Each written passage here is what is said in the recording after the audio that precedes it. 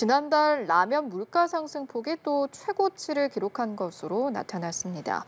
통계청 국가통계 포털에 따르면 6월 라면의 소비자 물가 지수는 123.9로 작년 같은 달과 대비해 13.4% 상승했습니다. 이는 지난 2009년 2월 글로벌 금융위기 이후 14년 4개월 만에 가장 높은 수치입니다.